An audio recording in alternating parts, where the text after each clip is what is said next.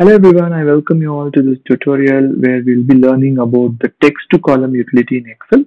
So in an Excel, if we go to the data tab, we can find a feature called as text to column right there over the top. So using this feature, we can split a single column into multiple columns based on a delimiter that is of interest to us. So we will see how to use that with a short example. So, so I have gone to a website. So this is a US Senate website where we have uh, the oaths of the Senate sessions. So we so let me go to one of those. So here we have the list of votes, right? So we have the senator and the vote whether it was yeah or it was no or it was you know whether the senator did not cast the vote and the party the party is the democratic republic and then we have the state as well right wisconsin and so on so what I'm going to do is I'm going to copy this entire thing and uh, let's paste it in Excel. Right, so it might take some time. Yeah, so here we go.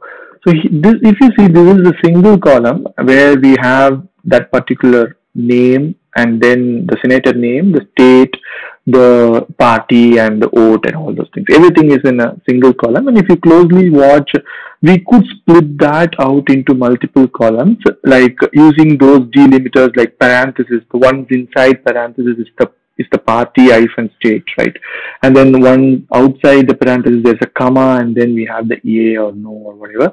So let's use these delimiters and try to split this into multiple columns easily using the text to column uh, function. So first let's select the column that we want to split and then you can go to text to columns.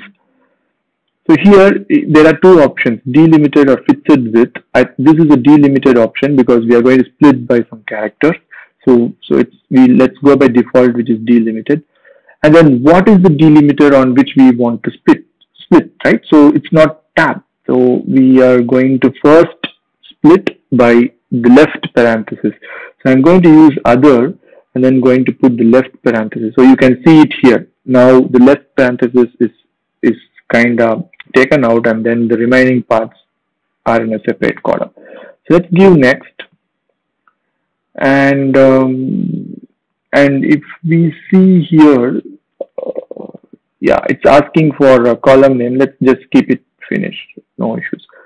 So we don't have a column name, right? So, so now if we see, this is the senator name, which is in a separate column, and then we have the remaining part in a another column. So now let's split this column further. So let me select this column, and this time we are going to split by hyphen because it's party name hyphen and the remaining, right?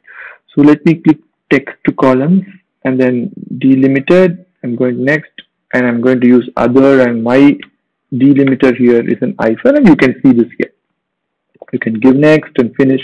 Now you got the party name in a separate column and let's repeat this iteratively, right? So now I'm going to split by the closing parenthesis so I will get the state.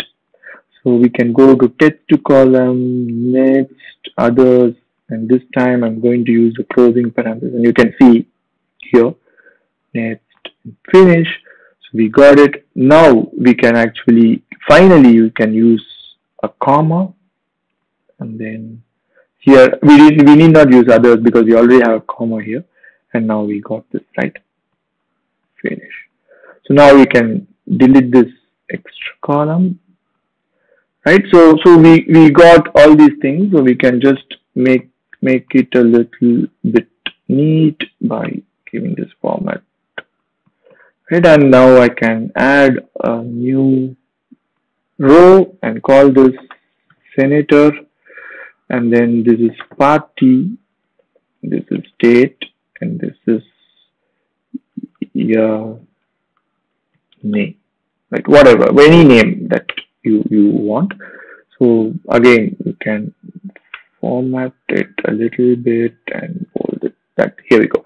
So now this is the data that we had, which we copied from the internet and then using the text to column, we made that into a nice CSV data where you have four columns and each of these are sorted out into respective columns. So this is a very useful feature where we can, if we are scraping, we can use this tool to kind of uh, process the scraped part into a nice data frame in a CSV file.